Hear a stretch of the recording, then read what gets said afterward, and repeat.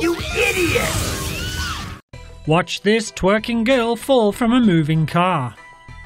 Warning teenagers, in case you didn't already know, twerking while hanging out of a moving vehicle is not a good idea. Proof of this theory is provided by 18 year old Georgia native Brittany Simone, who can be seen here shaking her thang until she loses her balance and topples from the vehicle. Which poses several questions that some of our younger Tomo viewers may be able to help answer. Number 1. Why twerk while hanging out of a moving car? And 2. Why was her friend filming while driving? 3. Apparently, Brittany was whipping and not twerking. What is the difference? And just in case you were wondering whether poor Brittany was seriously injured during a fall, we'll leave it to her friend to update you on her physical condition. She's Gucci. She's just a little.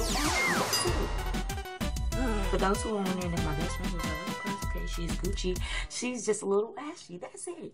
TomoNews.net is throwing $100 bills of the 20 funniest comments on our website every month, only at TomoNews.net.